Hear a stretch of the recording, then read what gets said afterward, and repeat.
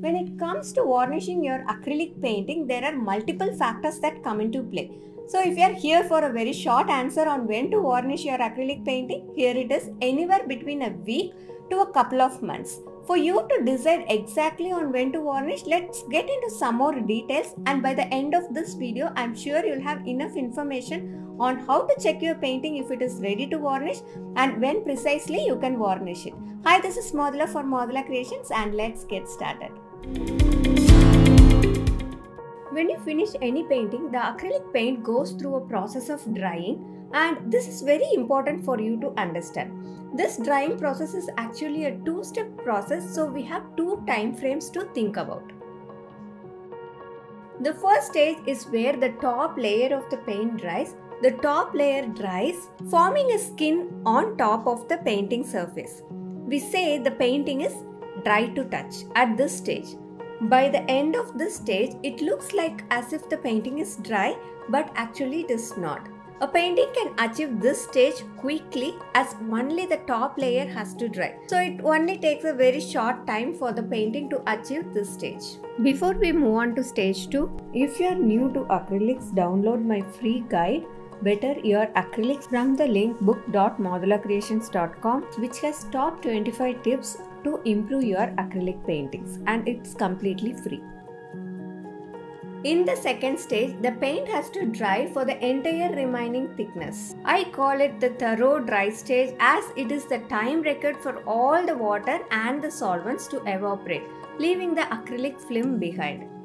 This second stage is the most crucial drying time of the acrylic painting as in this stage is where all the physical properties of your acrylic paints kick in. Only when you allow this stage to happen, the painting actually achieves the total hardness, the adhesion to the surface that you painted and all of the other physical properties. So this might take a very long time depending on all the different factors. Now let's see what factors that you need to look out for this drying to happen. The first one is the paint thickness.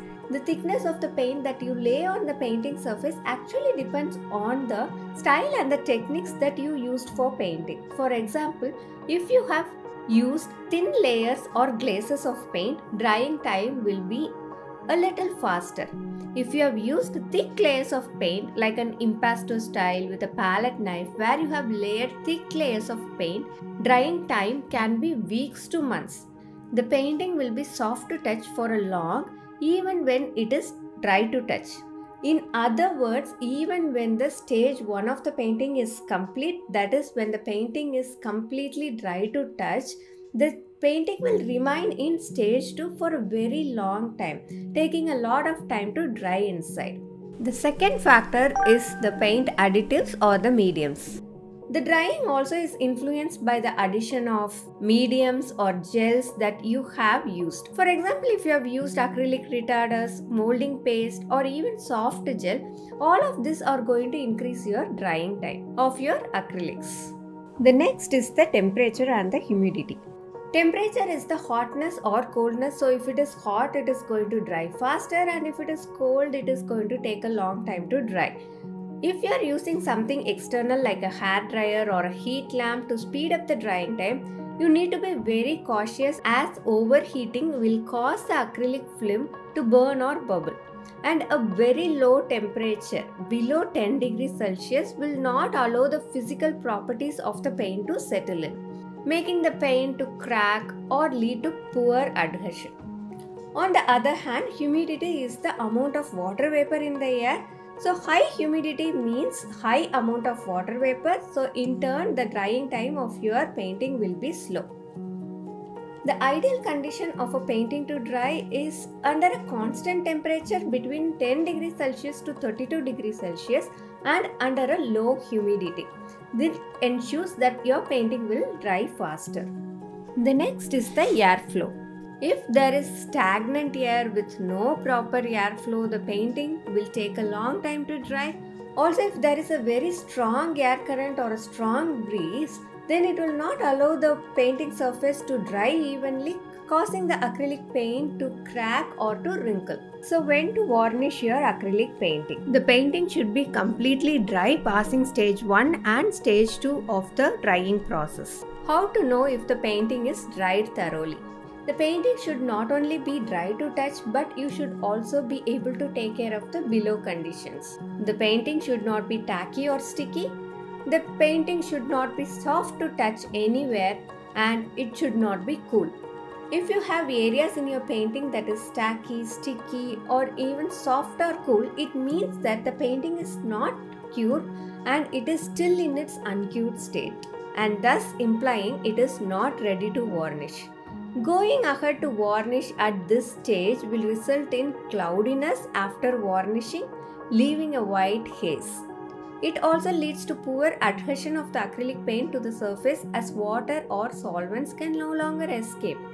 Before going to the final points, for those who are watching me for the first time, I do post video tutorials like this one, product reviews and much more on my channel every single week. So do subscribe and also click on the bell icon so that you get notified whenever I post a new video. So ideally if you have painted it very thinly like thin layers of paints or glaze, allow it to completely dry for a week before you varnish and also check on all the above conditions that I have mentioned.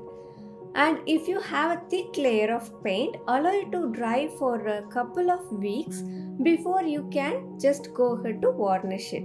If you have a very thick layer of paint like a quarter inch of a paint on a surface then just allow it to dry for a couple of months and check whether it is not tacky sticky or even soft which will mean the paint inside is still wet and allow it to properly cure before you can even think about varnishing.